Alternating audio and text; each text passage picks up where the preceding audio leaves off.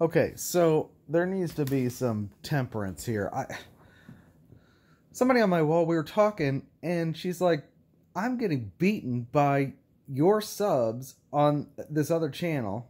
They're saying just the most Jesus would never talk to me the way any of these so-called grace people are talking to me. You know, and and I didn't exactly know what she was talking about. so we had the conversation back and forth and then I went and looked.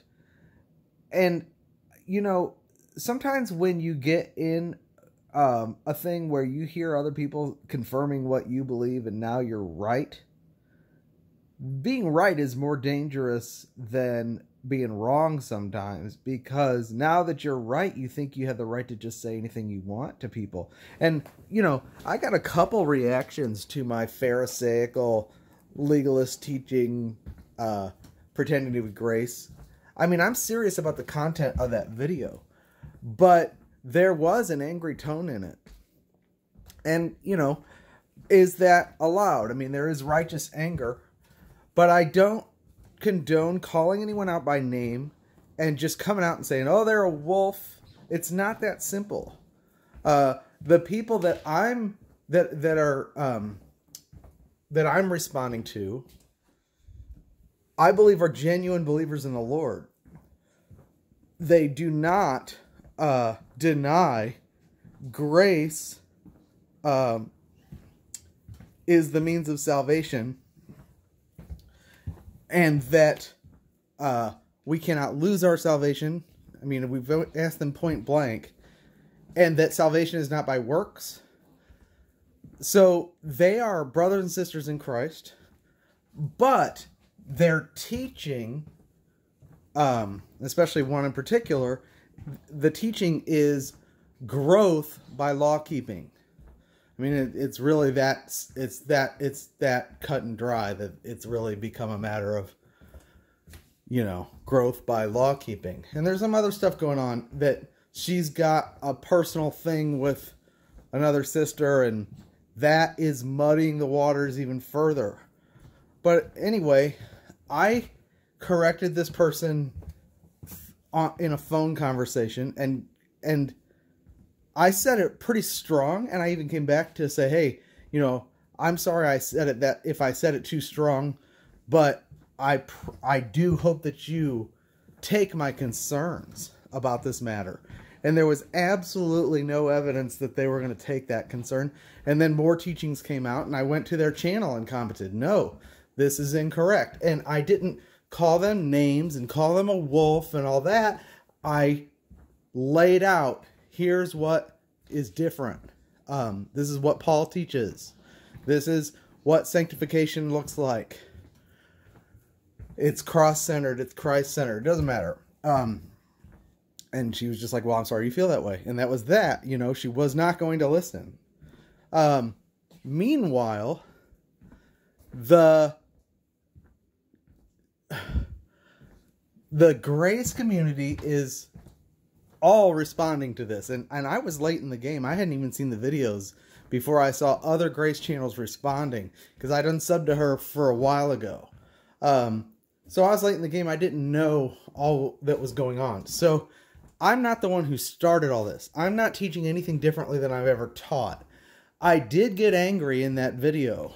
And some people didn't understand because there was some anger there. But I've done other videos where I'm angry at people on my channel saying this, and I'll do a video and say, no, you're, you know, I do not like self-righteousness, uh, work self-righteousness. And you can say, well, you're self-righteous because you think that someone who doesn't have the same teaching as you is wrong. Well, that we are, we have a treasure in an earthen vessel. That is true. But, uh, the teaching is critical. You know, sometimes we behave badly, but the truth has to be contended for. And sometimes, unfortunately, it has to be done publicly. When you're dealing with a sin, it's a private matter because only that person and the people involved are affected. But when you're dealing with a teacher and there's teaching and they're perceived as an authority and they're teaching in a way that's creating confusion uh, and it's contrary to the doctrine of Christ, then it has to be exposed publicly, not for their sake, but for the sake of the people who are listening. But anyway, um, I'm really frustrated because now I go and look at her wall and I see, yeah, I see grace believers that I recognize that are subs to my channel absolutely tearing people apart on the wall there, saying you're a wolf and you're another commandment obeying. I mean, come on, this is too much. Uh, I would like to say, well, I'm not taking any responsibility for that and I'm washing my hands of it. I can't really do that. I don't know that I, you know, stirred up the. I mean, the, this is already there. This is already a problem. Whether I did videos about it or not, other people were doing videos about it. So, uh, I'm not uh, apologizing for any videos I did. But if you think that my strong words were then your cue to go and attack people that side one way or another, please rethink that. Go delete your comments. Um, I saw some really distasteful stuff. It's just not cool.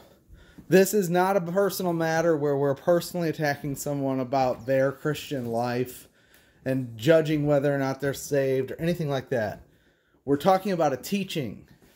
And yeah, things get contentious when there's teaching differences. That's historically, uh, I mean, apparently Melanchthon and Luther were having an argument about baptism, and one of them got so mad he threw the other one in the water in the lake. You know, I mean, people, this stuff brings out the worst in us, and yet it still has to be dealt with. So even though I'm, that's why Paul wouldn't visit Corinth. He said, you know, I'm afraid that there's going to be rivalry and jealousy and flesh is going to come out, you know. I get it. That the but the fact that we're earthen vessels and getting the flesh and responding correctly does not invalidate the fact that these truths need to be contended for. And it's not causing division. There's already a division. We can't walk together unless we agree. Uh, the division is that we don't agree and we instead of pretending like we do and producing an incoherent mix of law and grace works and grace and confusing everybody it seems like god is doing a work to make it real clear but don't think that just because you're a grace person you're not going to be disciplined if you're mistreating people that's really critical now if they perceive that they're being mistreated and you're just telling the truth that's on them but if you're actually cussing someone out and and getting personal and calling people wolf and all that stuff, no, I, I don't agree with that, and I have to do a video saying I do not condone it. all right, talk to you later.